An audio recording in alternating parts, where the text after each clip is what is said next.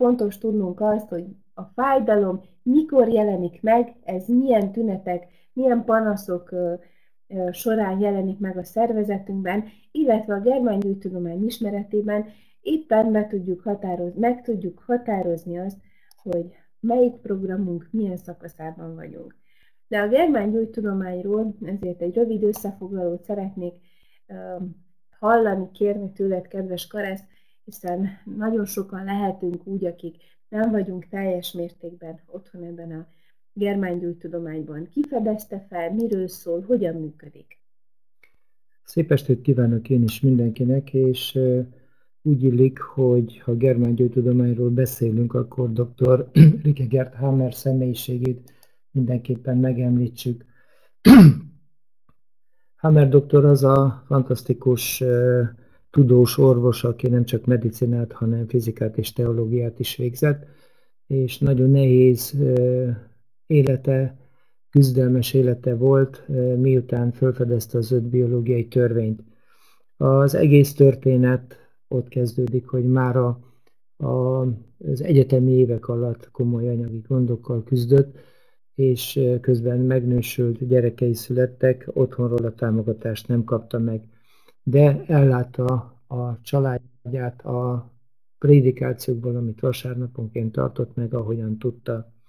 A lényeg az, hogy mikor már egyenesbe jöttek anyagilag, mert Hammer doktornak rengeteg felfedezése, újítása volt, amire ugye megkapta a jogdíjakat, akkor eldöntik, hogy elmennek ö, Olaszországba, Dél-Olaszországba, Nápolyba, hogy a szegényeken segítsenek és ez történik 1976-ban, majd 78-ban egy korzikai hajókirándulásra megy el a család, ahol egy e, szerencsétlen baleset, vagy más e, megvilágításból egy előre megfontolt gyilkosság történik, ugyanis e, Hammer doktor fiát ezen a kiránduláson a e, erősen ittas állapotban lévő szavolyai herceg, az olasz trónörökös Emmanuel két lövéssel halálosan megsebesíti.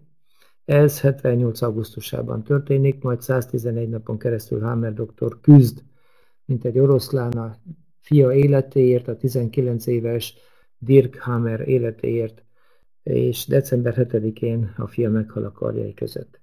Két hónap múlva heredaganatot állapítanak meg, és Hammer doktor elgondolkodik azon, hogy az ő heredaganata és a fia elvesztése között lennie kell valamilyen kapcsolatnak. Nos, minden nagyszerű felfedezést egy jó gondolat indít el, és hát ez a gondolat arra késztette Hammer doktort, hogy utána nézzen, mi lehet a kapcsolat a heredaganat, petefészekdaganat és az előtte megélt lelki traumák között. Így jut el Hammer doktor az első biológiai természettörvény felismeréséhez, amit akkor a rák vastörvényének nevezett. Ezután még további négy törvényt, vagyis összesen öt biológiai természettörvényt fedez fel Hammer, Hammer doktor. Az első törvényben leírja a DHS, Dirk-Hammer szindróma kritériumait, vagyis azokat a feltételeket, amelyek jelen kell legyenek ahhoz, hogy elinduljon bennünk egy értelmes biológiai különprogram. Ez az EBK-val rövidített értelmes biológiai különprogram, azért értelmes, mert mindennek értelme van, ami a szervezetünkben történik, és különben nem indulna el, ha nem ért volna minket egy nagyon súlyos, érzelmi, drámai meg, megrázkódtatás, meglepetésszerűen, és egy nagyon súlyos történet.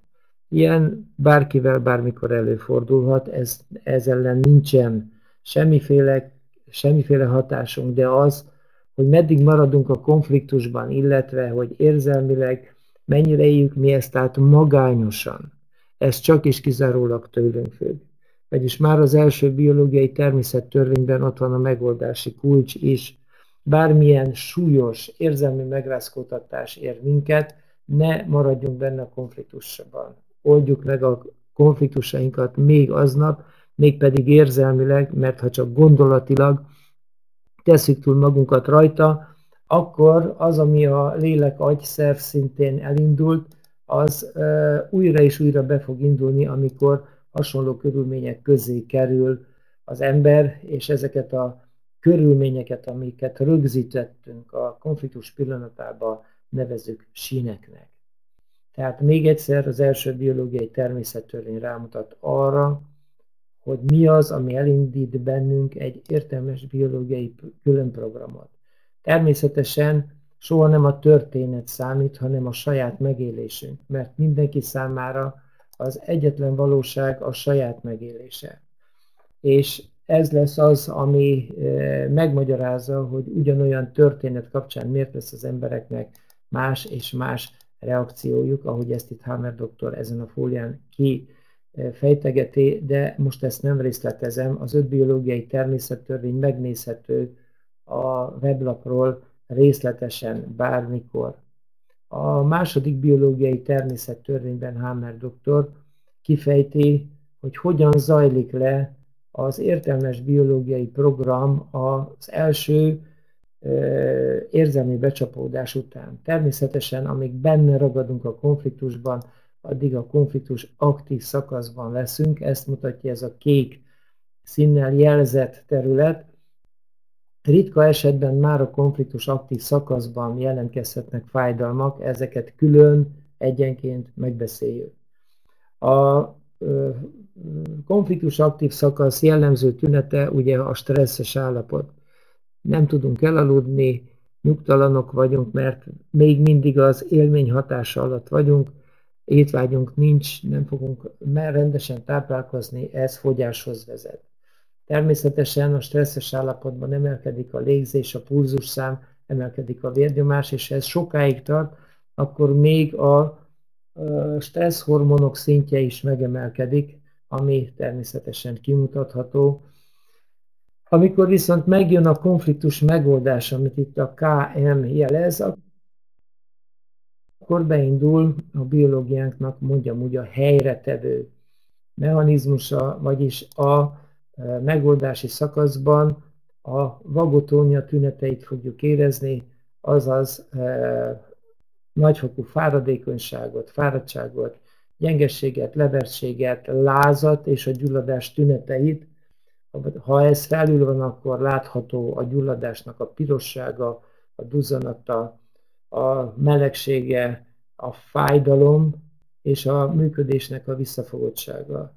A fájdalom a legtöbb esetben a gyógyulásnak a biztos jele, és ezekre is külön kitérek majd. Én ezt akartam kérdezni, hogy a konfliktus megoldás az gyakorlatilag magát a gyógyulást jelenti. Ám azt mondod, hogy itt vannak a heves tünetek, a fájdalmak, a láz, a működésváltozás, mi meg pont ilyenkor szoktuk azt gondolni, hogy betegek vagyunk, laikusként ezt nevezzük betegség állapotának, közben a germán gyógytudomány szerint épp gyógyulunk. Ez pontosan így van, de hogyha én a fájdalmai miatt a rendelőbe bemegyek, akkor természetesen az orvosnak az a feladata, hogy csillapítsa a fájdalmat, de nem mindegy, hogy hogyan és mivel teszi ezt. Mert ha itt a, a megoldási szakasz első részében mondjuk egy daganatos betegnek a legerősebb fájdalomcsillapítót adja, a morfiumot vagy annak származékait, akkor leviszi a legmélyebb vagotóniába, erre a pontra, amit nincs feltüntetve, ahova mutatok, és ott megáll a szíve. Tehát ez a, ez a, a morfium adag, ez halálos, ez kerülendő, ezt nem szabad alkalmazni. Természetesen az izületi fájdalmaknál ugye szteroidot adnak, megszűnik a fájdalom miért? Mert a szteroid visszatesz minket a konfliktus aktív szakaszba, és ezáltal le is állítottuk a gyógyulásunkat.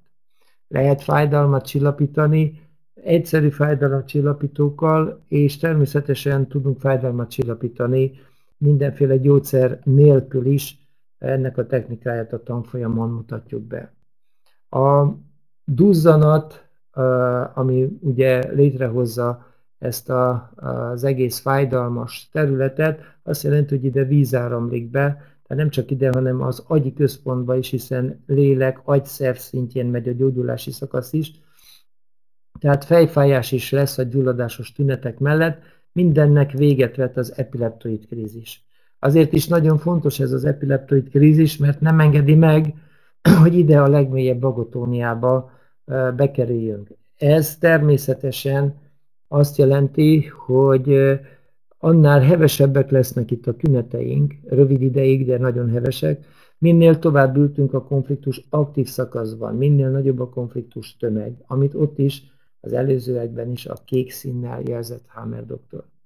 Az epileptoid krízisben valós epilepsziás görsrohamaink lesznek, ha a mozgással kapcsolatos konfliktus az, amit itt e, megoldunk. Az epileptoid krízis e, egyben azt is jelenti, hogy kipréseljük a vizet az agyi központból és a gyulladt területekről, tehát több vizet fogunk e, üríteni, mint amennyit megittunk, és következik a befejező része a konfliktus megoldása utáni szakasznak, ez a hegesedési fázis, vagy B fázis. A, az első részt nevet, nevezhettük A, a másodikat B fázisnak, közte van az epileptoid krízis. Nos, ez a második fele a megoldás, megoldási fázisnak azt jelenti, hogy hegesedés lép föl, vagyis mindaz, ami az előző részben, mondjam azt a létrejött szöveti szinten egy gyógyuló hegszövet, egy gyógyuló seb, teli vízzel, kipréselődik a víz, és létrejön a hegszövet. Ezt nagyon egyszerűen megfogalmazva így tudnánk elmondani. Természetesen, hogy a hegesedési fázis nagyon erős fáradékonysággal, levertséggel jár, megint csak meleg tüneteink lesznek, és sajnos a betegek jó része itt szokta feladni pedig ha tudná, hogy már csak néhány nap választja el a gyógyulástól, akkor biztos kibírná. De hát ehhez tudni kéne a germán gyógytudomány öt biológiai természettörvényét, tudnunk kéne azt, hogy mi az, ami elindítja azt a biológiai programot, és az hogyan zajlik le két fázisban. Tehát gondolhatnánk akkor, hogy ez, ha így lezajlik, akkor miért vagyunk krónikus betegek? Épp ezt akartam kérdezni, hogy általában nagyon sok krónikus beteg ismerősünk van. Ezek azok, akik folyamatosan betegek, ugyanazzal a problémával küzdenek, akkor náluk hogy működik ez a két fázisú megoldás? Hát ott van a probléma, hogy nem ismerjük még csak az első két törvényt sem, mert ha ezt ismernénk, vagyis meg azt is, hogy hogyan tudjuk elakasztani a saját gyógyulásunkat, akkor tudnánk tenni is érte. Először is meg kellene oldani a konfliktust már a konfliktus aktív szakaszban. Ha nincs megoldva a konfliktus, akkor teszem azt, ha szövetszaporításról szól a konfliktus aktív szakasz, akkor hatalmas szövettöbletet fogunk kialakítani. Ehhez természetesen e, hozzájárul a víznek a begyűjtése is. Itt e, csak arra hivatkozok, éppen ma olvastam egy e, orvosi szaklapban, hogy 60 kg-os petefészek daganatot operáltak, öt sebész dolgozott rajta több órán keresztül, de van ennél nagyobb megoperált petefészek daganat is, 120 kilón felüli. Szóval, ha nem oldjuk meg a konfliktust, az végzetes a biológiánk számára, és ez az egyik oka annak, hogy nem gyógyulunk meg. A policiklikus lefolyásban azt látjuk, hogy ugyan megoldódott a konfliktus, végigfutott, de újra meg újra lejátszódik. Látjuk, hogy újra ismétlődik. Ezeket nevezhetjük recidiváknak az akadémikus orvoslás nyelvezete szerint, Hammer doktor policiklikus lefolyásnak nevezi. Ez az epilepsziás görcsölöm tipikus lefolyása, de ugyanerről szól az is, ha mondjuk egy fájdalom mondjuk minden hétfőn reggel visszatér, mert vasárnap sínre került egy meg nem oldott konfliktusunk. Legyen szó bármilyen programról, ami az első két csiralemezből származik. A függőgyógyulás megadja a magyarázatát a krónikus fájdalomnak, hiszen látjuk, hogy éppen csak megszakítja a gyógyulási folyamatot egy-egy konfliktus, rövid konfliktus aktív szakasz, ezek nem epileptoid krízisok, hanem sínre kerülések. Miért?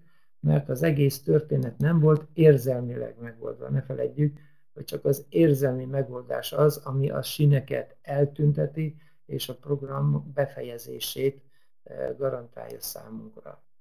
Nos, eh, hogy mi történik a konfliktus aktív és megoldási szakaszban, az nem véletlenszerű, ez belénk van kódolva mondjam azt a megtermékenyítés óta. Mert ahogy a megtermékenyül a petesejt és elkezd osztódni, nyolcadik nap beérkezik a mély üregébe, és mielőtt fölveszi a kapcsolatot a, az anyai mély nyálkahártyával, hát itt látjuk ezt a három csiralemezt, ami egy keresztmetszeti kép, Hammer doktor rajzolta három különböző színnel. Ez a három csiralemez lesz az, ami minden, amiből minden szervünk, minden szövetünk kialakul. Az agy és a csiralemezek közti összefüggést ábrázolja ezen a rajzon Hammer doktor, és a, gyakorlatilag minden biológiai programunknak, amely amelyeknek a külön elindulásával betegségeket okozunk, itt van a magyarázata. Kezdjük a legegyszerűbb történettel, a sárga színű belső csiralemezzel, ugyanis ennek a két vége, amikor össze fog érni egymással, akkor létrehoz egy csövet, és ez a cső létrehozza a tápcsatornát. Nyilván ez a falat konfliktussal foglalkozik, és amint látjuk, az agytörzs irányítja. Csak hogy nem csak nem csak kenyérrel él az ember, tudjuk ezt, nem csak táplálék kell nekünk a túléléshez, hanem kell még levegő, kell még víz, hang és fény. Ezeknek a falatoknak, fényfalat, hangfalat, táplálékfalat, levegőfalat, vízfalat megszerzését mindig az agytörzs irányítja, és ez mindig sejtek szaporításával kezdődik, ez a folyamat.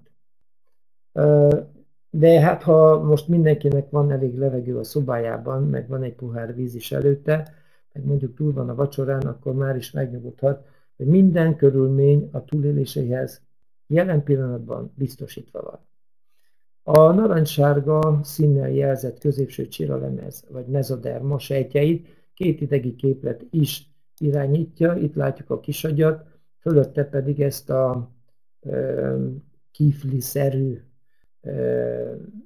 frontális, illetve nyílirányú metszetben történt ábrázolásban látjuk a fehér állományt, nevezik agyvelőnek is. Ezekbe a, az idegi központokba különböző félelmek, rezgései fognak becsapódni. A kisagyba minden támadással, bemocskoltsággal való félelmünk érkezik ide, és természetes az írhában és a burkokban indít el sejtszintű szaporítást konfliktus aktív szakaszban. Mivel az irhának része a verejtékmirigy, és az emlőmirigy pedig egy módosult verejtékmirigy, ezért természetes, hogy a gondozási konfliktus, vagyis amikor túlzásba viszem az aggódást, túl sokat és túl erősen aggódok egy szeretett élőlény miatt, mondom élőlény miatt, akkor beindul az írha központjaiból, reléből az adott oldalon az emlőnek a mirigyeinek, tejtermelő mirigyeinek a túlszaporodása. az agyvelő vagy fehérállomány reléi azokat a, az érzéseinket rögzítik, amelyek az önleértékelésről szólnak, és ez már vele együtt értendő, hogy az önleértékelés önpusztítást fog jelenteni a sejtjeinkben, vagyis a hozzátartozó szervekben mindig először a sejtek sorvadása indul. Ezek a szerveink, szöveteink a mozgással kapcsolatos szerveink, szöveteink, azért látjuk itt a narancssárga csontvázot, hiszen minden mozgásnak az alapját a csontok adják. A csontokat izületek kötik össze, a csontokat izmok mozgatják, az izmokat erek látják el, osztógyűjtő nyirokér, és a kötőszövet, zsírszövet adja a plusz energiát a mozdulathoz, tehát ez az öt szövet lesz az, ami önleértékeléskor elkezd sorvadni a testünkben, természetesen a legerősebb önleértékelés mindig a csontokat fogja érinteni, és az önleértékelés témája meghatározza azt, hogy hol kezdjük el az önleértékelést a sejtjeinkben. Ha például valakit nem bírok elviselni, az a csípőizületemet fogja érinteni, nem fáj semmi konfliktus aktív szakaszban, viszont a megoldásban jön a csípőizületi fájdalom. Ha pedig nem oldódik meg a konfliktus, illetve függő gyógyulásba kerül, túl gyakoriak a sínre kerülések, akkor ez egy állandó fájdalommá alakul át, és természetesen az izület tönkretételéhez fog vezetni. Az idegrendszer legbonyolultabb része az agykéreg, vezérli a külső csírolemezből származó laphám sejtjeinket, illetve laphám nyálkahártyákat. Amint itt látjuk a piros babán, az elválasztási konfliktus mindig a bőrünk legkülső részét, az elszarosodott laphámot fogja érinteni. Itt is először sejtszintű sorvadást indítunk, és érzéketlenség lép fel ilyenkor a kültakarón, azt hívjuk neurodermitisnek, de a megoldásban jön a fájdalom, és jönnek a mindenféle egyéb tünetek.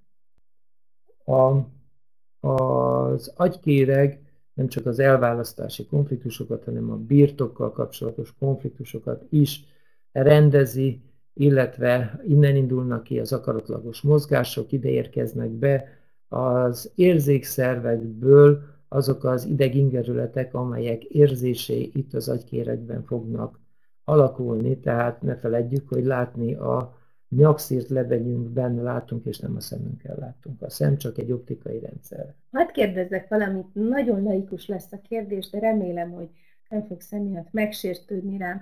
Azt mondod, hogy a, az endodermális belső csiralemez irányítottságú, például a tüdő. Igen.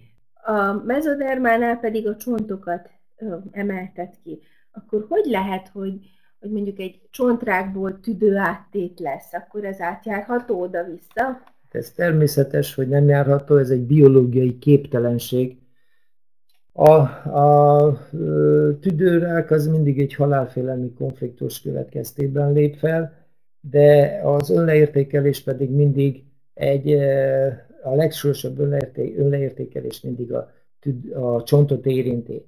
És pontosan tudjuk, hogy melyik csontot, Például, ha, a, amint említettem, ha nem tudok valakivel, hogy mondjam, ha valamit nem tudok elviselni, akkor az a csípőizületemet fogja érinteni, és a kezesség meghatározza pontosan, hogy melyik csípőizületem lesz érintett.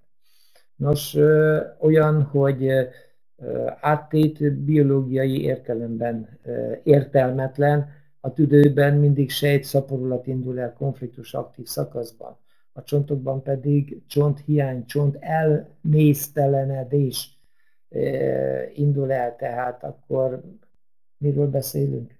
Teljes biológiai képtelenség az áttéteket, hogy mondjam, leírni és elfogadni.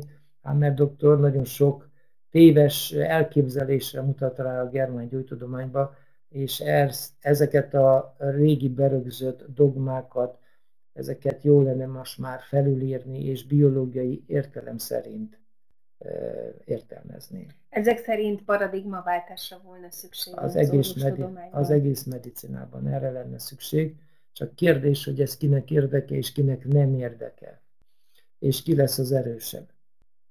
A, mint mondtam, amint az előzőkből kiderült, vagy sejteket építünk, vagy sejteket bontunk, vagy működést változtatunk a konfliktus aktív szakaszban. Természetesen, ha itt sejteket építettünk, azt le fogjuk bontani gyulladásos körülmények között a megoldási szakaszban. Ha sejteket bontottunk, akkor vissza fogjuk építeni ezeket a sejteket a megoldásban, szintén gyulladásos tünetek közepette, és a működést változtattam, akkor természetesen a működést helyre fogom itt állítani.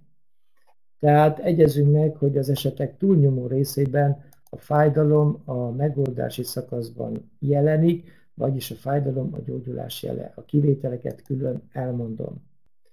A negyedik biológiai természet törvény rámutat arra, hogy a bennünk élő gombák, baktériumok, vírusok, ezek nem a mi ellenségeink, hanem a mi eh, legjobb eh, mondjam azt, hogy mikrosebészeink. Ők segítenek a levontásban, elvégre a kidőlt fákat is a gombák bontják szét az erdőben, ők segítenek a visszaépítésben is, de a mai medicina ezeket pontosan kóroki tényezőként emlegeti, holott semmiről sem tehetnek. Még a Helicobacter pylori a gyomorban sem tehet semmiről sem, de sok mindent ráfogtak szegényre. Szóval a, ha a tünetek eltüntetésére koncentrálunk folyamatosan, az nem medicina. A medicina a valós okoknak a feltárása, és azoknak a valós megoldása. Legalábbis szerintem orvosként ezt így gondolom. Az ötödik biológiai természettörvény rámutat arra, hogy valójában minden, amit mi betegségnek neveztünk, az egy nagyon is értelmes program a szervezetünkbe. Ezért nevezi Hammer doktor értelmes biológiai különprogramnak. A quintessencia a megértés törvénye. Tehát nem üzemzavarról van szó, hanem arról van szó, hogy a DHS pillanatában a szervezetünk biológiai szinten nyújt segítséget arra, hogy megoldjuk azt, amit érzelmileg nem tudtunk megoldani, amibe beleragadtuk. És ez lesz az, amit helyre fogunk tenni a megoldási szakaszban. De mint említettem, mindenkinek aznap le kellene zárni a megfelelő programjait, Ma is azt tudom mondani előre mindenkinek, hogy nem újjék el napot a haragoddal, és akkor nem leszünk krónikus betegek, mert ha érzelmileg feloldottuk a mai nap minden konfliktusát, akkor holnap ugyanazokkal a körülményekkel, emberekkel találkozva nem aktiválódik a biológiai programunk. Ezek szerint minden általunk betegségnek nevezett tünetegyüttes a túlélésünket szolgálja azt, hogy hogy a testünk meg tudja önmagát gyógyítani? Pontosan ez a lényeg. Minden, ami él a Földön, egyetlen célja van, a túlélés, és ezen belül a faj fenntartása. Tehát akkor nem nevezhetjük rossz indulatúnak, ismeretlennek, gyógyíthatatlannak a betegségeket.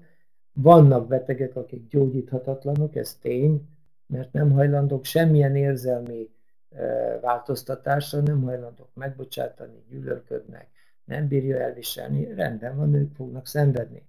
Nekik szükségük lesz gyógyszerekre, de aki túl akar lépni, mondjam azt az ösztön lény szintjén, az emberként meg tudja oldani, mert az ember egy tudatos lény.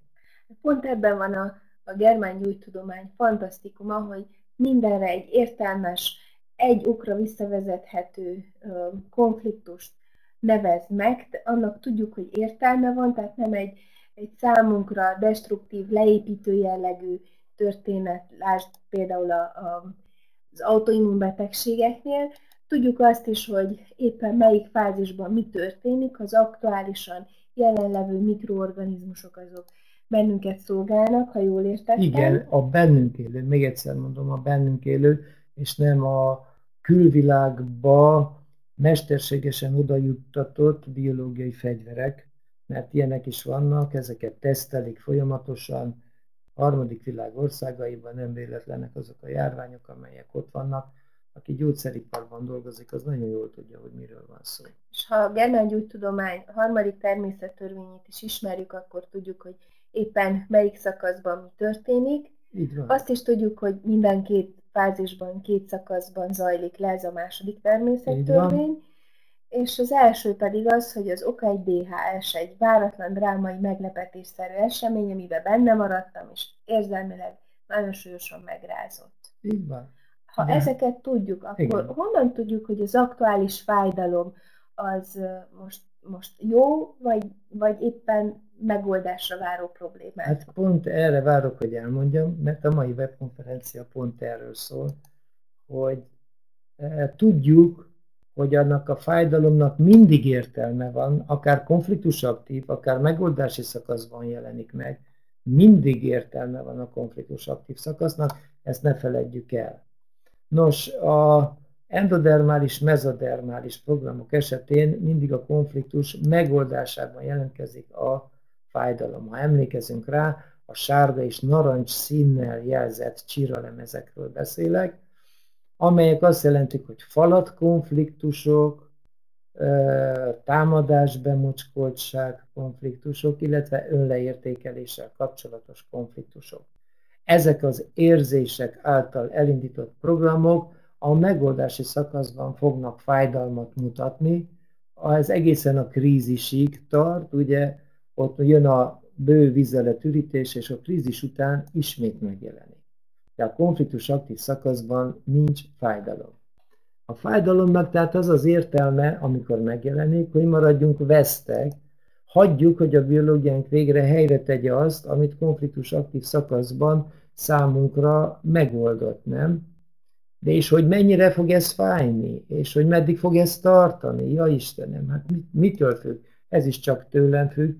Meddig ültem bent, meddig csücsültem bent az érzelmi konfliktusba, illetve, hogy ezt mennyire magányosan éltem meg.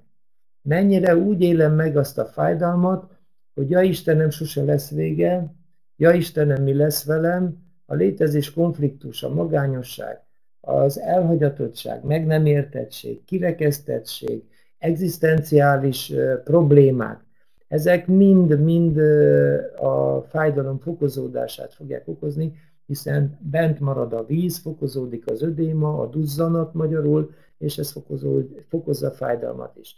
Jelzem, a veséről szóló webkonferencia anyagot itt most tessenek nyugodtan megnézni a webkonferencia után.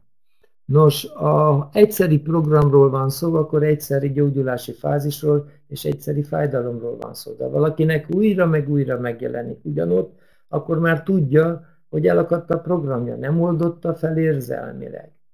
És gyakor, gyakorlatilag ez az egész fájdalom akkor fog megszűnni, ha a program végére jutottunk. Amúgy a mozgás szerveinkben jelentkező fájdalmak, csontizület, izom, erek, zsírszövet.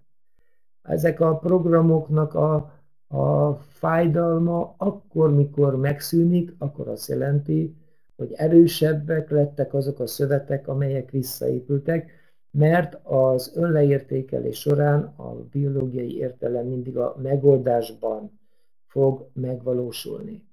Tehát azt értsük meg, hogyha megjelent egy izületi fájdalom, aztán megszűnik ugye a krízis alatt, akkor legyünk felkészülve rá, hogy a fájdalom visszajön a következő szakaszban ismét.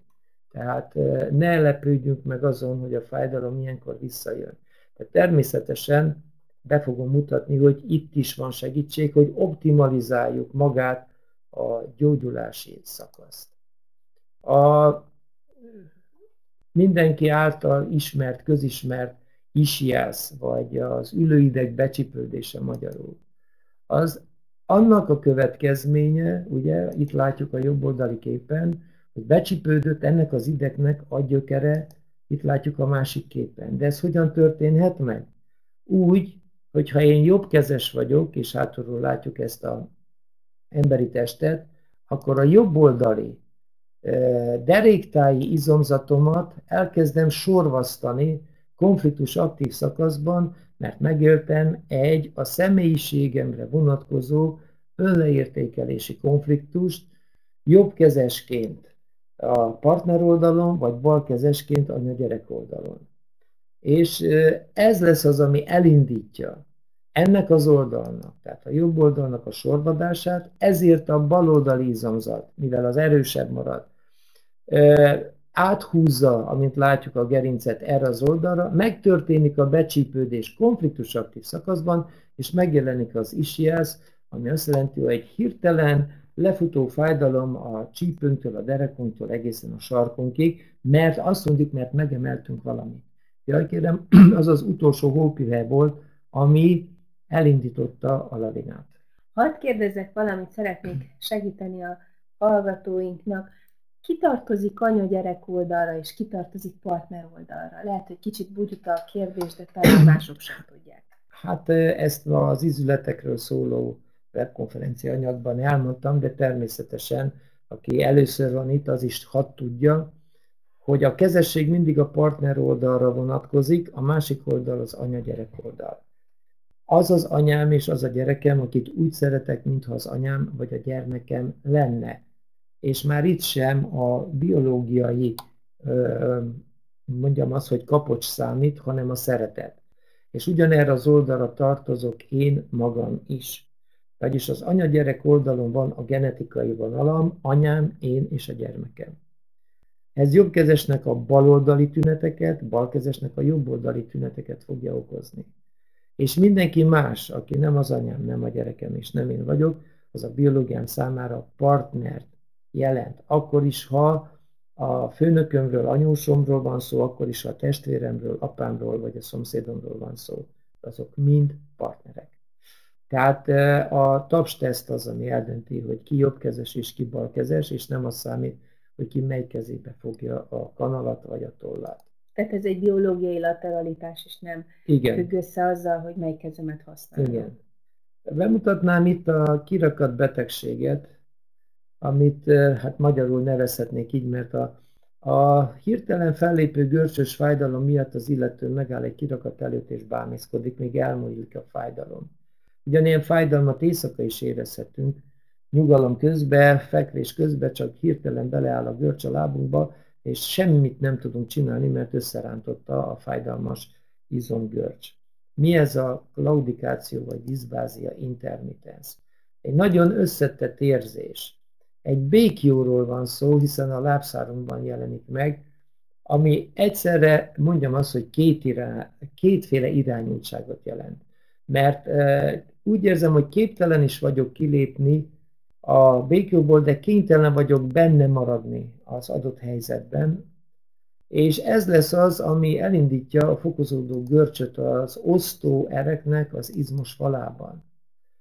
Ez természetesen angiológiai vizsgálaton úgy néz ki, hogy érszükület, csak hogy a, az érszükület ellen szól, hogy a megoldással kimelegszik a végtag, az addig hideg végtag, és megnő a megtett út hossza. És ez az egész, ha a megoldási szakaszban vizsgálják, akkor az érnek az átmérője csodák módjára kitágul. Tehát itt egy izomgörcsről van szó konfliktus aktív szakaszban, és természetesen a krízis alatt fokozott az ér és izomgörcs, ezt szoktuk éjszaka vagy este lefekvéskor érezni, amikor epileptoid krízisbe kerül valami. Tehát lehet, hogy napközben éreztünk némi fájdalmat a lábunkba, de hát futottunk tovább, vagy nem okozott különösebb problémát, de az epileptoid krízisben ezt mindig érezni fogjuk. Hammer doktor a My Studenten Méhen című, Méhen című művében ír le egy ilyen esettörténetet, amiben azt is leírja, hogy ennek a dallamnak a hallgatásával végül a beteg megúszta az érsebészeti műtétet, rájött arra, hogy mit kell megoldania. 15 éves konfliktusról volt szó mindösszesen. A kalcisztin nevű gyógyszer is átmenetileg tud a comb osztóerében úgynevezett erős folyást létrehozni, ezt a kollégák nagyon jól tudják. Nos, itt van egy másik csodálatos történet, a diabéteses láb. Ugye, ha a germán gyógytudomány szerint gondolkodunk, akkor ezeknek a tüneteknek, amit itt látunk, mindegyiknek megtudhatjuk a lényegét. Mert amikor érzéketlenség, zsibbadás lép fel a lábunkba, akkor természetesen konfliktus aktív szakaszban vagyunk. Ezzel, ezzel szerintem mindenki egyet tud érteni, nem? Akkor, amikor, amikor ö, ö, extrém érzékeny az adott seb, akkor természetesen, hogy hogy a program azt jelenti, hogy éppenséggel a megoldásban van. Ezért beszélünk, tehát ezért van hol ez a tünet, hol az a tünet. A lassan gyógyuló sebeket, meg a mindenféle egyéb zavarokat, a véráramlás zavara az ér- és izomprogramok okozzák. Most, ha hosszú ideig megmarad a konfliktus aktív szakaszban az elválasztási konfliktus, akkor természetesen ez a bőrnek a berepedéséhez, illetve hát a, a fekélyek kialakulásához fog vezetni.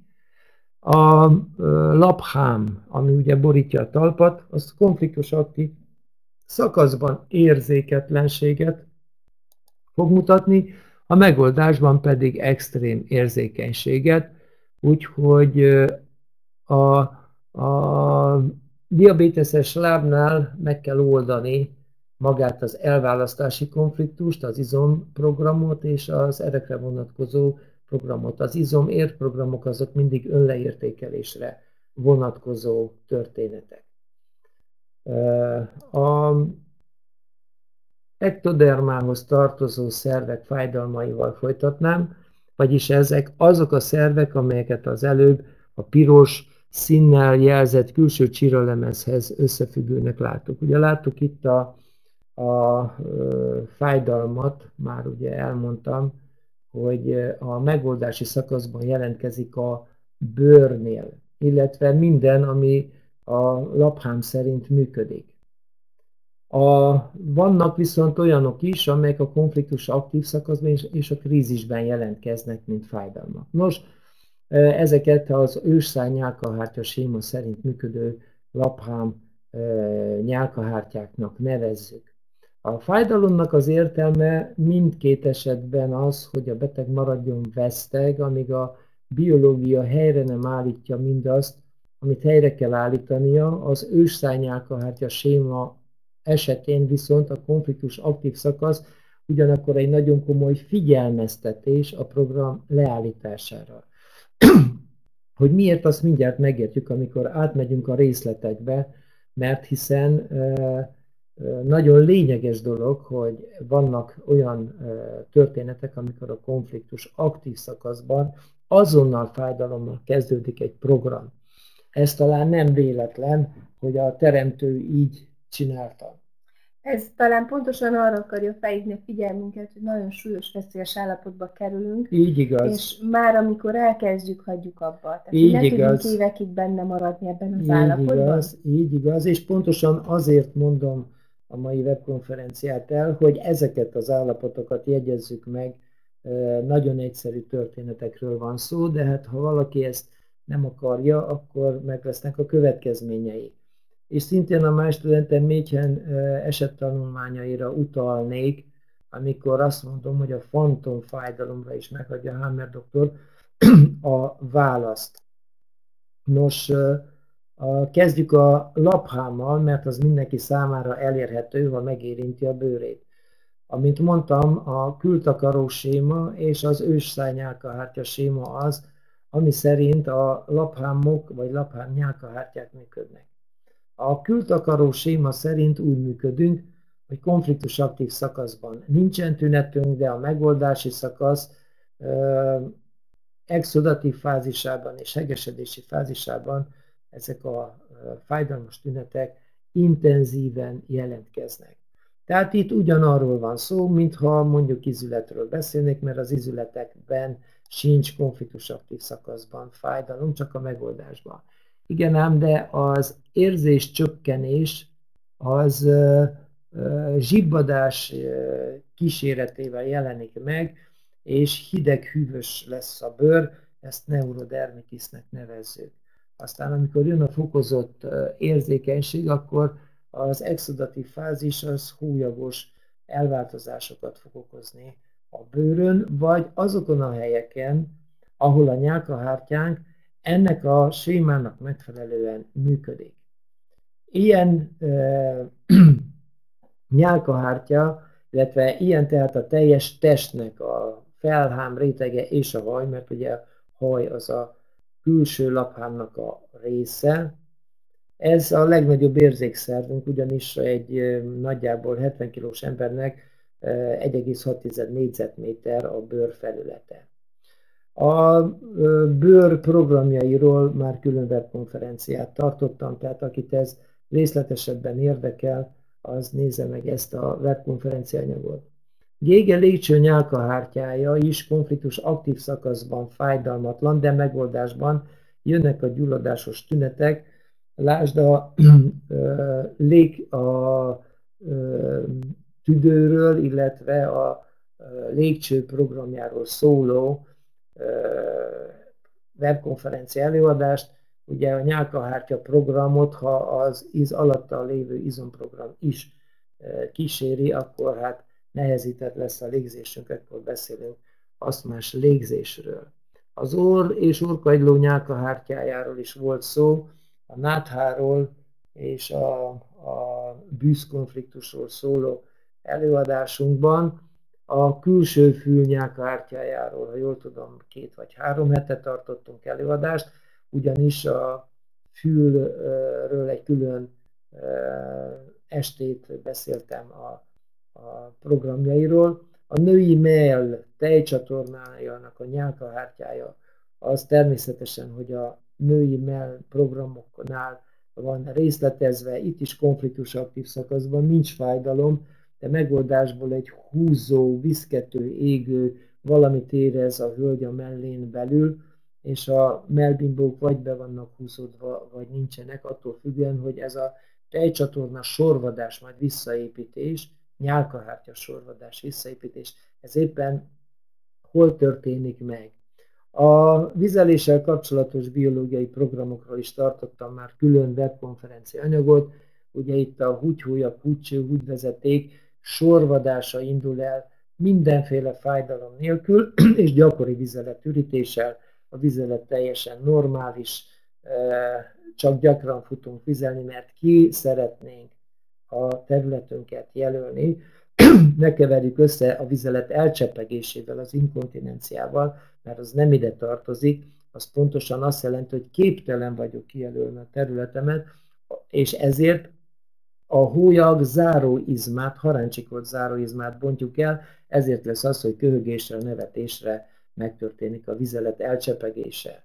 A hüvely, ményak, mészányák a hártyája is ektodermális, tehát a konfliktus aktív szakaszban fájdalmatlan, ezért lesz fájdalmatlan egy hölgynek a mészáj sebe, vagy a mély kráter a mészájon, amit már mély nyakráknak neveznek. Ne feledjük, hogy itt is a nyálkahártyának a fekélyesedése nem áll meg a nyálkahártya izom határán, hanem folytatódik, és mélyen az izomba is behatol maga a program. Tehát értsük meg, hogy az érzés az, ami ezt az egészet végighajtja bennünk, és a megoldáskor jön a fokozott érzékenység, epileptoid krízisben a vérzés. Aztán itt van a végbélről is volt egy külön előadásunk, a végbélnek az ektodermális nyálkahártyája mindig az identitás konfliktus során lesz érintett, amikor nem tudom, hogy kinek a véleményére hallgassak, nem tudom, hogy hová tartozom, ki vagyok én valójában. Ezek a programok a végbél ektodermális nyelvvártyájának a sorvadásával kezdődik tünet nélkül, megoldásban jön az aranyérnek nevezett aranyos történet. Nos, az ősszáj nyálkahártya sémán ugyanazt a görbét látjuk, csak éppenséggel a fájdalom a konfliktus aktív szakaszban jelenik meg. Na ez itt az, ami lényeges, és ne feledjük el, hogy itt rögtön kezdődik a fájdalom, eltűnik ez a fájdalom a megoldási szakaszban, de fokozottan jelentkezik, és abszanszal, emlékezett kieséssel az epileptoid krízisbe. Az abszansz érthetjük úgy, mint lelki távollétet, amikor Igen. nem tudunk magunkról konkrétan Igen, amikor dolgokat, konkrétan... Hol vagyunk, mit csinálunk, hogy kerültünk ide, Így van. miért jöttünk, mit csináltunk eddig, ezeket Igen, jelenti ez az teljes, Ez jelenti az abszansz, a teljes, a pillanatnyi kimaradást, mondjam úgy, hogy megnyomtuk a pauza gombot. Nagyon kellemetlen tud lenni. Nagyon kellemetlen tud lenni, mondjuk, főleg, hogyha a olyan helyzetben vagyunk, hogy magunknak vagy másoknak balesetet fogunk okozni.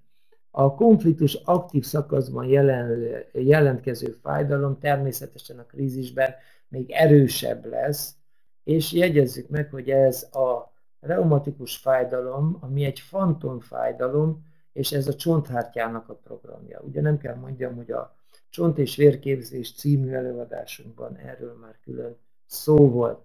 Aztán teljesen, a... bocsáss meg, teljesen elámulok, hogy ennyi mindenről beszéltünk már. Sok, itt gyakorlatilag sok. összefoglalom, de ezeket a programokat még egyszer újra kivetítem, hisz az a lényeg, hogy azt jegyezzük meg, hogy mikor van konfliktus aktív szakaszban fájdalom, mert ezeket illik megoldani nagyon rövid idő alatt, a többiben szenvedhetünk nyugodtan, mert nem életveszélyes.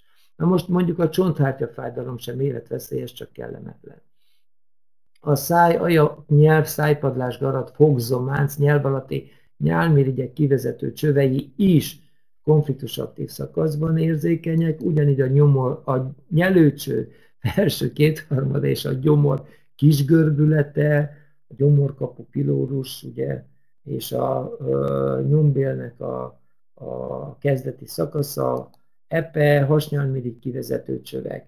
És van egy érdekes összefoglaló, de hát Hammer doktor leásott az alapokig, hogy megértsük, hogy az adott szervek mi hogyan függnek össze. És így derül ki, hogy a koszorúerek, az aortaív, a nyaki ütőér, a karotiszt, a pajzsmirigy kivezetőcső és az ősi kopoltyú hasadék, ez mind a kopoltyú, ív, kopoltyú hasadék származékai, majd mutatom a képet erről is.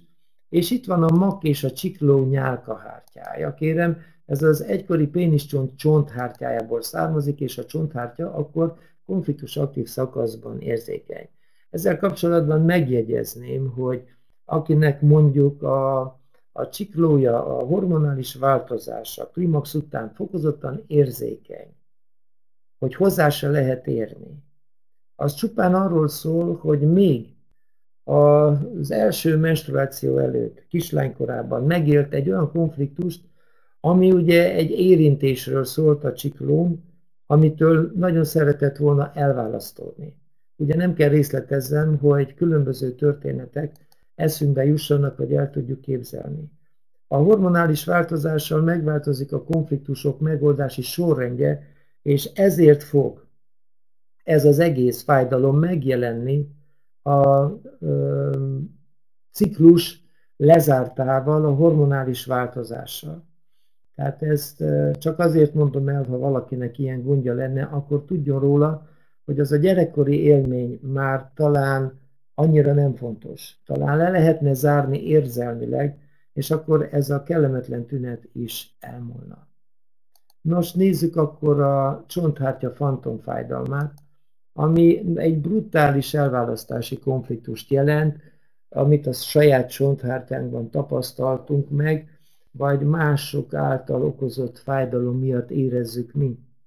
Most itt egy tényleg a legsúlyosabb elválasztási konfliktust kell értenünk alatta, és csontig hatoló, csontig hatoló dologról van szó, csak ugye, mert ugye az elválasztási konfliktus az a bőrre hat. De ez nem állt meg a bőrnél, hanem lejutott egész a csontig, viszont mind a két szinten okoz tünetet. És pont fordított ö, a fájdalom megjelenése. Ugyanis a csonton, a konfliktus aktív szakaszban már is megjelenik a fájdalom a csont hártyában, mert a csontban nincs fájdalom, mert a csontban nincs érzőideg végződés. Viszont a csonthártya gazdagon erezett, és van benne ideg. Nos, ez az ö, ö, fájdalom konfliktus aktív szakaszban úgy jelenik meg, mintha ezer forró hangya mászna a csontunkon.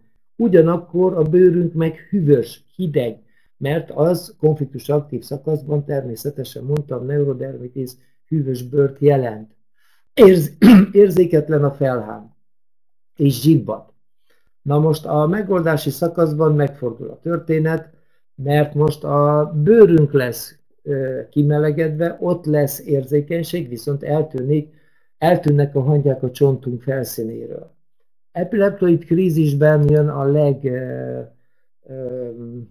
legintenzívebb fájdalom a csontunkon, mert ugye lehet, hogy a, hagymá, a hangyák addig elszaporodnak, és még több hangya mászik rajta, vagy még tüzesebb a lábuk, úgy érezzük, ugyanakkor a bőrben megint csak csökkent érzékenység lesz, vagyis az ilyen embernek hideg a lába, hideg a keze, és zoknit húz fel nyáron is a, a, a lábára, és úgy fekszik le, mert a, a bőrén hideget érez, ugyanakkor mélyen a csont hártya e, rettenetesen fájdalmas.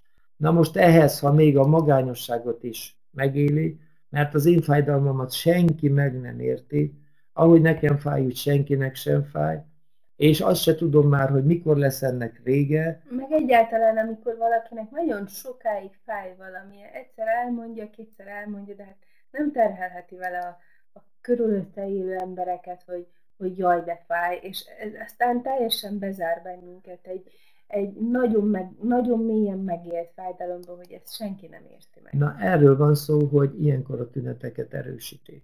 Ezért mondta Hammer doktor, hogy a szindróma megértése fontosabb, mint a szívinfarktus megértése. És még egyszer felhívom a figyelmet, nem csak a csont és a vérképzés című előadásunkra, hanem a vesével kapcsolatos programokra is. A krónikus fájdalom természetesen akkor fog fellépni, hogyha még az önleértékeléssel is megtoldjuk ezt az elválasztási konfliktust, és akkor a csontoknak a visszaépülése a megoldási szakaszban már belülről fogja feszíteni a csonthártyát.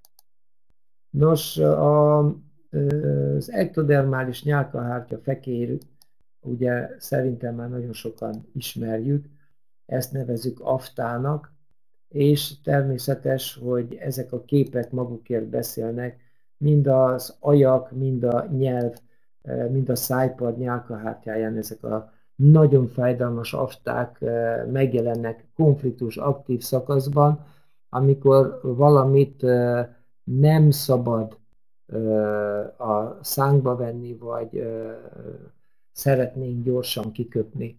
Ezek a konfliktusok a megoldási szakaszban már azzal járnak, hogy eltűnik a fájdalom, lesz egy kicsinke vérzés a epileptoid krízisben, és utána megint csak mindenféle fájdalom nélkül a program bezáródik.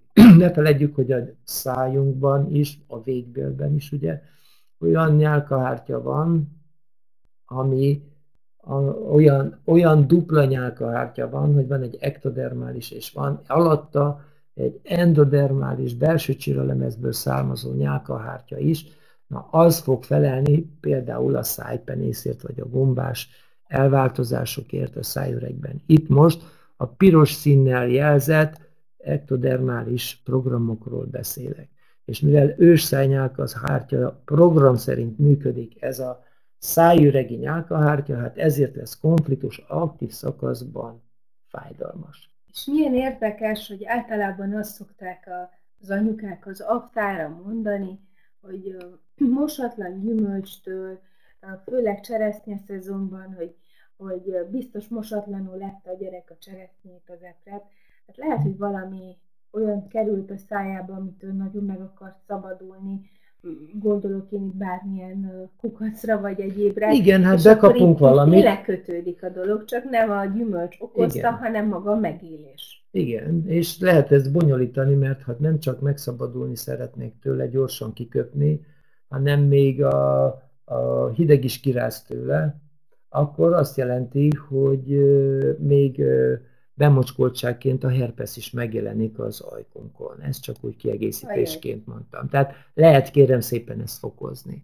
A nyelv alatti nyálmirigy kivezető csöve, és amit itt láttunk a, a képen, ugye, a nyelv alatti nyálmirigyet, és annak a kivezető csöve nyilván a szájpadlás alján nyílik, nagyon nyákos váladékot termel, azokat a azok olyan konfliktusok során fog tágulni ez a nyálmirigy kivezető csatorna, amikor nem tudunk, nem akarunk, vagy nem szabad valamit megenni, vagy ugye a megevéshez mindent benyálazunk. Ez mondjuk arról szól, hogy bekaptam a cseresznyét, de a fejemre ütnek, hogy köpt ki, mert elkaptak, hogy loptam a cseresznyét, és a szomszéd rajta kapott, de bármilyen olyan dolgot, ami, ami ilyen konfliktust okoz számunkra, hasonló megélést, ez konfliktus aktív szakaszban a ö, nyál, kivezet, nyálmirigy kivezető csatornájának a tágulása fájdalommal jár, és a megoldásban természetesen jön a nyálkahártya visszaépülése.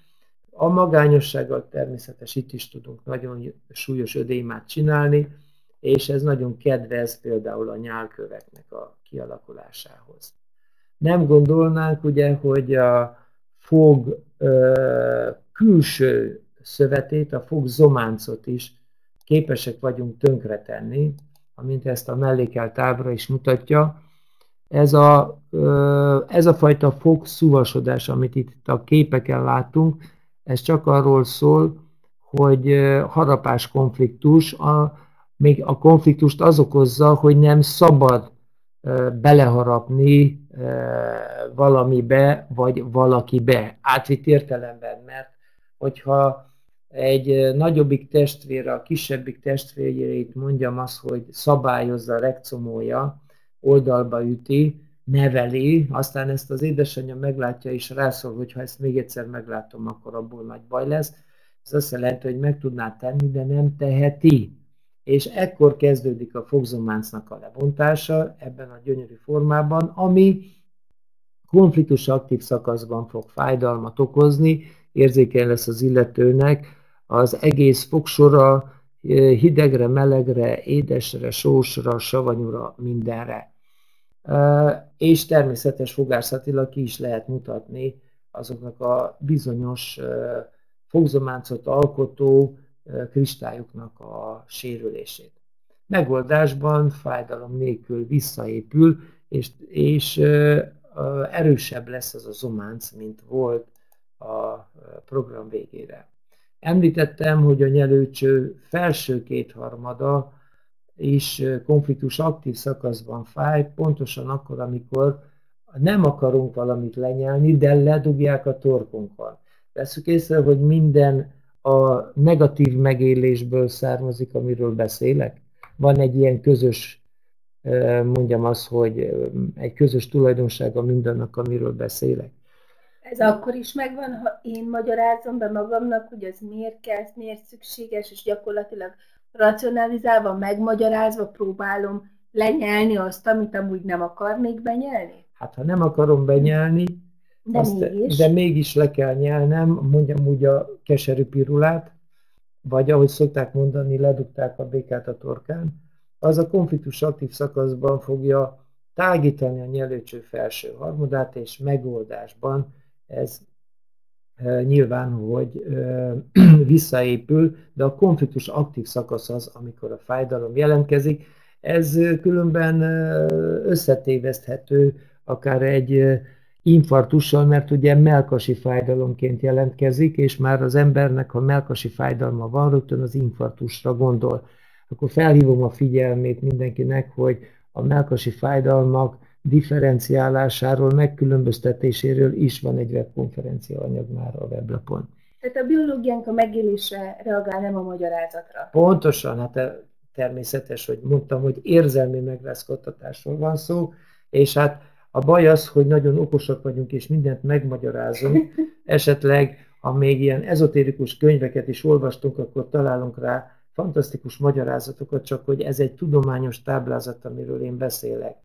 Itt minden bizonyítottan így igaz. Hát ezért imádom, és nincsen, hogy lehetséges vagy nem lehetséges.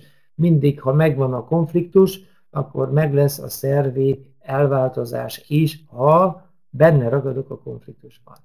A gyomromat akkor szeretném kitágítani, amikor már nem fér el benne az a hatalmas bosszúság, amit megéltem. Ebben segít a kisgörbületi fekély biológiai szinten, ugye tágítja ezáltal a gyomornak az üregét, tehát miről kellene leszokni? A bosszankodás. Bosszankodásról, de hát ugyanez hat, bosszankodni. Ugyanez hat a patkóbél kezdeti szakaszára is, és nem tudom, Réka, te hallottál valakit, aki a bosszankodásával megoldott valamit? Hát nem, de már azon is tudunk bosszankodni, hogy már bosszankodunk. Na ez a legjobb, ez a legjobb dolog. Mert akkor már legalább tudatos vagyok, odafigyeltem arra, hogy a fene megegye, már megint bosszankodom. Tehát Igen. innen a következő lépés az, hogy eldöntöm, hogy legyen úgy, ahogy van.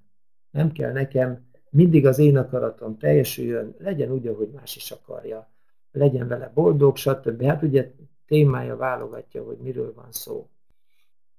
Ugyancsak bosszankodás fogja az epeúti, az epeútnak a, a megfelelő, mondjam azt, részén az epeút csatornát bélelő laphámot sorvasztani. Ez is fájdalommal jár, de nem olyan intenzív, mint a gyomor kis görbülete. És hát, hogyha ha valakinek állandó a bosszankodása, tehát mondjam azt, hogy éjjel-nappal bosszankodik, és ultrahangon azt mutatják ki, hogy a epehújak fala elvékonyodott, akkor gondolkozzon el.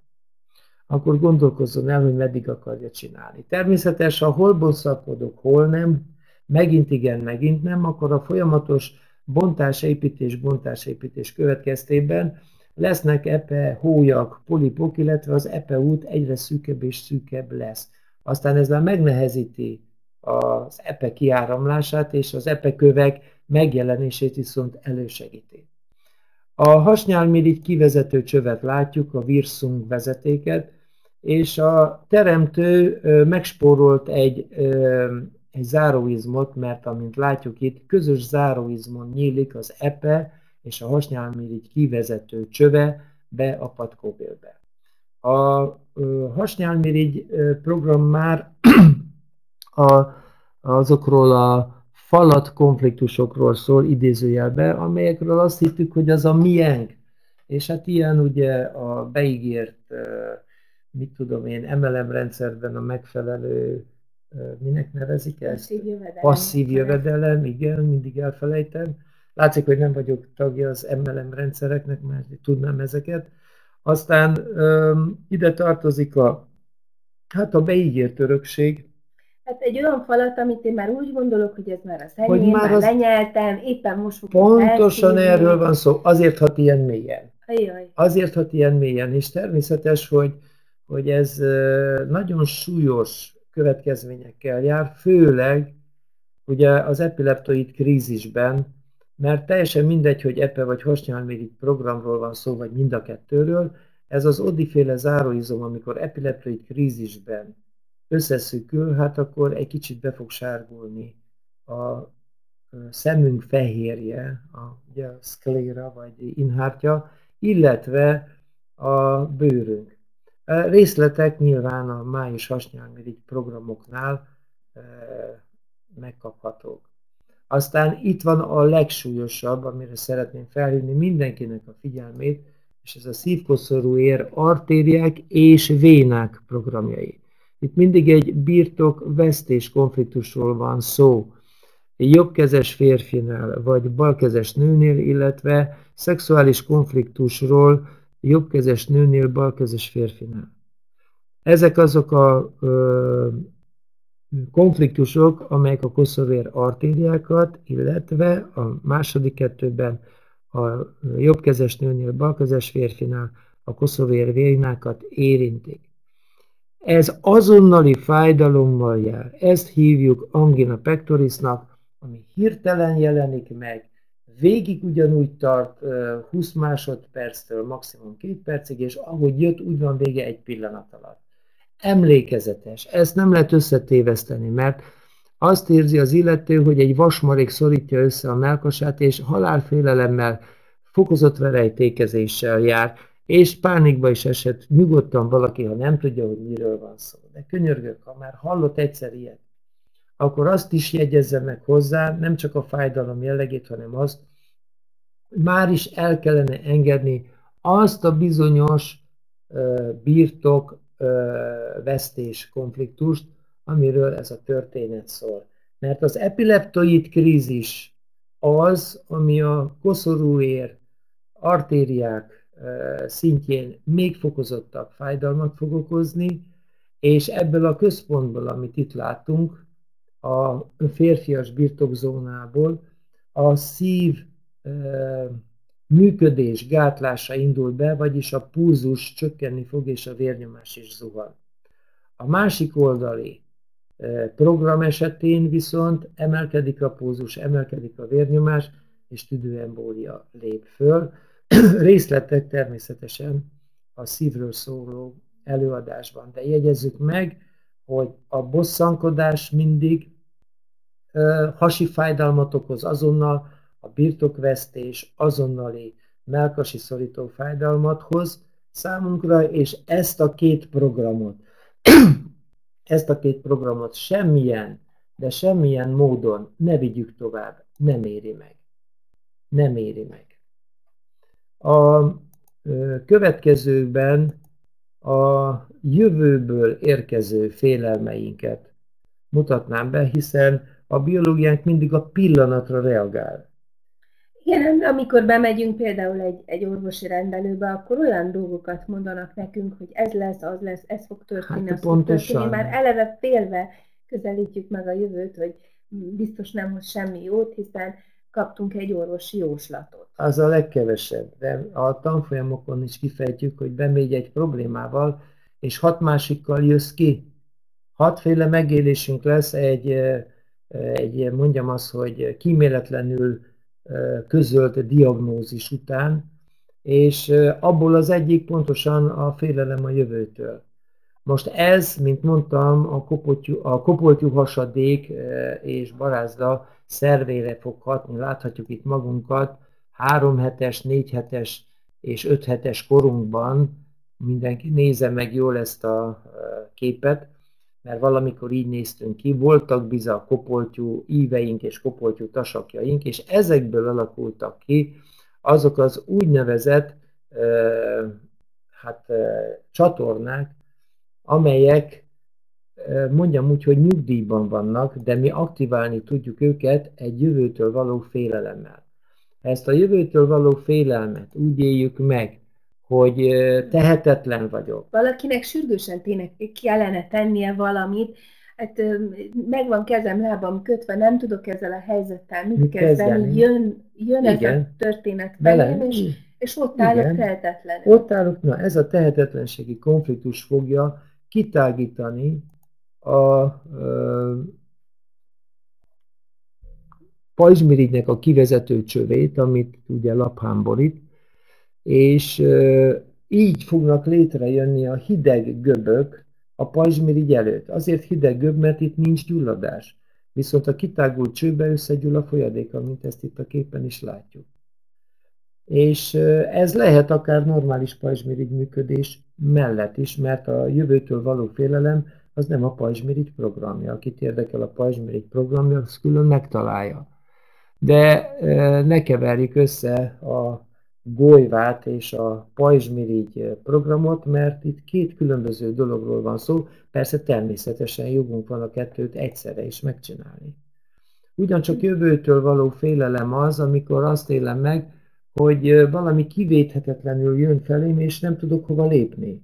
Tehát nap, nap mint nap ez a veszély egyre közelebb van hozzám. Az a kettő között a különbség, hogy ez szemből jön, tehát a jövőből jön, közeledik hozzám, és egyre, egyre inkább közeledek ehhez a veszélyhez, Igen, a másik az már jelen van? A másik jelen van, tehetetlen vagyok, nem tudom, hogy mit csináljak, és e, e, mindenképpen az is jövőtől való félelem, mert nem tudom, hogy mi lesz. És sürgősen azért nem tudok segíteni magamon, mert meg van kötve kezem lábam. Van egy beteg gyermekem, Igen. akit gondoznom kell, és nem tudom ellátni, de egy orvosi segítségre van szükségem, hogy egy műtéten keresztül menjen, a Szegedi történet, amiről előadásokon beszélek. Itt viszont az a probléma, hogy napról napra fokozódik a félelmem, mert jön velem szemben vajon mi? Hát egy határidő, egy határidő. Egy Pontosan, jön egy határidő velem mi? szemben, vagy azt élem meg napról napra, hogy az állapotom egyre rosszabb, a fájdalmam egyre nagyobb, mondjuk egy meldaganat során, és akkor még megélem, pedig már gyógyul, jelzem, de ha nem tudom, hogy gyógyul, és félek, hogy ja Istenem, mi lesz velem, kivetítem a jövőbe, hogy ez egyre rosszabb lesz, akkor ö, mellékhatásként még ki tudom tágítani a jobb oldalt, a, a, mint itt látjuk is a képen, a, a kopoltyú hasadéknak a, a laphámját, és ez a kifekélyesedés, hát a nyakunktól kezdve egészen a mediasztinomig, vagyis a gátorüregig képes egy nagy folyadékkal telt üreget létrehozni. De egy pillanat rájön meg itt Karesz, hiszen a rákról való félelem is pont ugyanilyenek. Pontosan. Azt mondják, hogy x időnk van hátra, ez folyamatosan csak romlik, ha picit úgy érzem, hogy jól vagyok, és a következő kontrollra már nagyon megijedve megyek el, mm-hmm. mert azért lesznek áttétek, és mindenféle olyan történetek, amiket egy onkológián lehet hallani, uh-huh. hát ez, ez megfelel a ráknak, a ráktól pontosan, való félelemnek is. Pontosan, tehát képesek vagyunk még minden, Hammer doktor rámutat pontosan arra, hogy nem áttétek vannak, hanem minden félelemre elindítok egy értelmes biológiai külön programot, egy túlélő programot. Ez a halak idején egy nagyon lényeges túlélő program volt, mert akkor a kopoltyúk tágításával jobb volt a, a vízátfolyás, és ezáltal a légzése a halaknak. Csak de hát, már nincs hát már nem vagyunk halak, de hát ugyanazt a félelmet éljük meg, és erre ugyanezt a reakciót fogjuk kapni. Tehát tudomásul kéne venni, hogy a jövő az attól függ, hogy ma mit teszek. Nem, nem vagyunk tehetetlenek, nem vagyunk kiszolgáltatottak a jövővel szemben, és ha én minden nap teszek valamit a jövőmért, akkor nincs miért féljek tőle. Igen. Ez ennyire egyszerű. Tehát némi alaptudásunk kéne legyen a germán gyógytudomány tárgykörében, hogy ezt mind tudjuk. Nos, ugye vannak elakadt programok, amint mondtam, de ha a Studenten München elkezdjük hallgatni folyamatosan, 24 órában, akkor ahogy azt itt látjuk, a megoldási szakasz első részét, az exodatív fázist áttolja a dallam hatására a biológiánk a hegesedési szakaszba. Optimalizálja az egész programnak a lefutását, bezárását, és egyetlen problémánk van csak, az optikai sín. Vagyis azt, amit folyamatosan látok, egy emlékeztető körülmény, Igen, tárgy, valami A róla. konfliktusra emlékeztető tárgyat vagy szemét ha újra meg újra megnézem, akkor természetesen, hogy a program újra meg újra elindul. Persze, ha hallgatom a más studenteméket, az mindig megpróbálja, hogy ezt az egészet túllökni, hát akkor azt játszok, mint kőműves kelemen, amit rakott estig le a mutregére. Nem kellene, hogy mondjam, benne csücsülni egy konfliktusba, hanem azt mindenképpen tisztázni, viszont a más studenteméken hallgatásával időt kapunk a konfliktus megoldására. Ne felejtjük, ha a konfliktus aktív szakaszban hallgatjuk, akkor itt leállítja a sárga és narancs színnel jelzett csíralemezek programjait, vagyis a falatkonfliktust, a meldaganatot, a hasártya programot és a, az önleértékelést. Ezt leállítja. Majd, ha megoldottuk ezt az egész konfliktust, akkor a program megy tovább. Tehát ha viszont, ha viszont ektodermális programot, olyanokat oldunk meg, vagy olyanokban vagyunk benne, fájdalmam van egy angina pectoris miatt, legyünk konkrétak, vagy reumás fájdalmam van, vagy gyomortáji fájdalmam van. Beteszem a más studenten méhen, és letransformálja a konfliktus aktív szakaszt, tehát a fájdalmam is csökkenni fog, és segít úgy kivezetni a programból, hogy az epileptoid krízisben nem fogok vergődni a görcsöktől. Azt hiszem, ez jó ötlet. Természetesen az eredeti Hámeri dallamot kellene hallgatni, és nem valami meghamisított, internetről letörhető dallamot. A germán gyógytudomány alapa megértéshez. Én ezt úgy gondolom, hogy egy fantasztikus tudományról van szó, mert rámutat, hogy nem azok a statisztikai tényezők befolyásolják valakinek az egészségi állapotát, amelyekhez minden egyes esetben fűzik a, a programot, hanem csak is tőlünk függ, hogy mikor oldjuk fel az érzelmi megrázkódtatásainkat. Hányat gyűjtünk be belőle, és hány van közte elakadva, mert csak ez fogja meghatározni, hogy milyen hosszú ideig fog fájni valami.